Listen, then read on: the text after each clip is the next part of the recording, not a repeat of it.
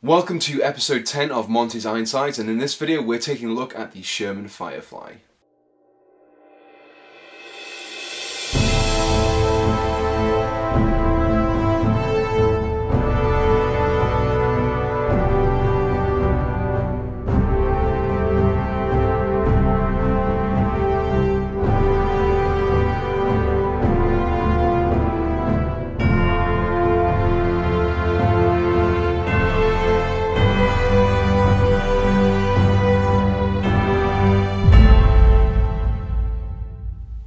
The Sherman Firefly first entered service in 1944 and was deployed as a way of stopping German armour. And at the time, Germany was very much superior in their tanks, and they pretty much had been throughout the entirety of the war. Most of the British tanks were just unable to get through that really thick, uh, sloped German armour.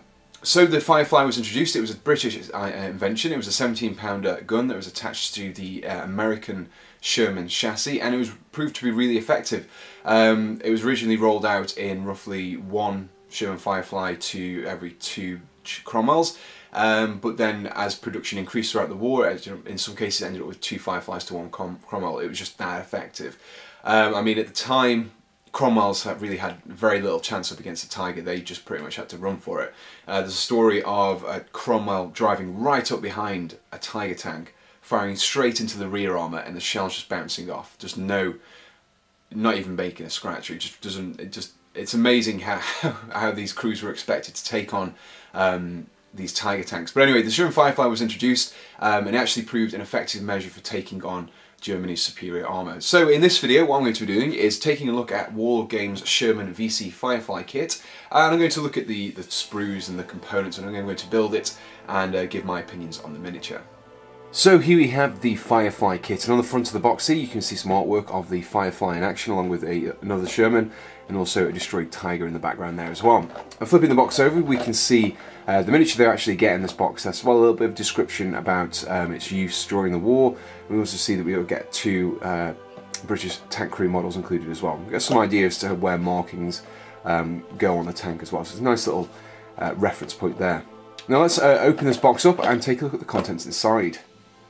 In front of me here I have the contents of the Firefly box and first of all we have the decal sheet which contains uh, lots of different regimental and also squad markings as well for the Allies. Uh, we've also got the Allied star on there also. Uh, this brings us to the instruction manual, well sheet.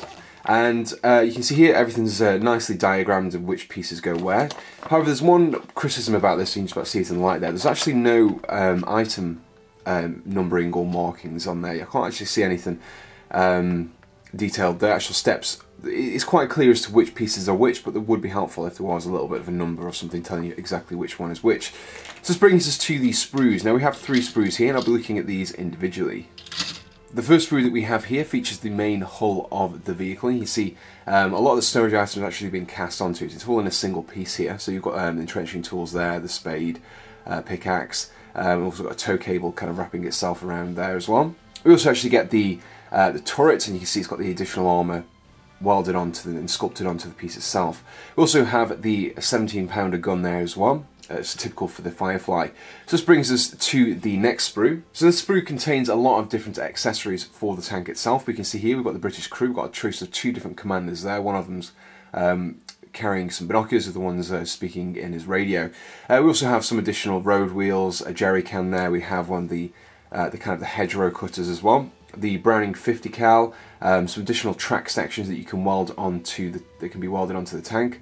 Uh, I've got all the little bits of additional ammo uh, box for the 50 cal. We also have uh, the lights and also the side skirts as well that you can see here. Now this brings us to the third and final sprue.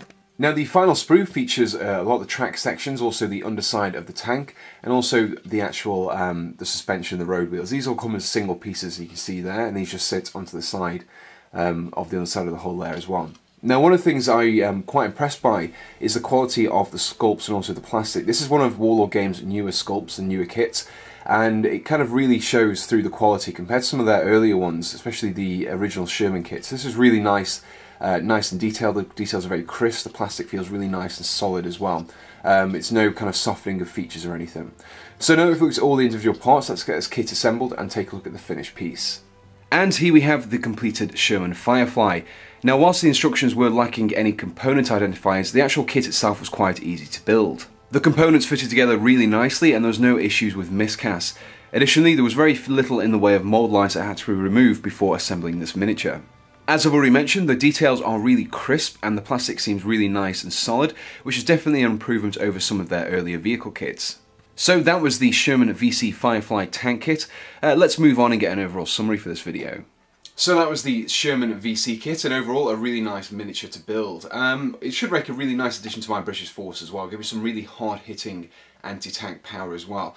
Uh, I kind of prefer it overtaking the, um, the Achilles or even um, the Archer as well. I mean, in terms of the Archer, the Sherman VC5, I think it's the same amount of points, but um, if you buy the option to remove easily catches fire, then it's 305 points, which is 10 points more expensive than the Archer, but it's not open top then. So it gives you a little bit more uh, kind of robustness. And the same goes for the um, the M10, the Achilles as well. I mean, that's an open top tank. It's a little bit cheaper, but it's also a lighter tank as well. So I really like the Sherman Firefly as well. It just, it just looks nice and it kind of fits into that aesthetic of the um, 3rd Infantry Division as well. Goes sit really nicely against uh, a couple of Cromwells um, if I want to do a tank force as well. So, uh, thanks for watching this video, it was much appreciated and I do hope you've enjoyed it. Do let me know what you thought about the video in the comments below and if you haven't done so already, check out the previous videos in the Monty's Ironside series and subscribe to be kept up to date with all of my future videos.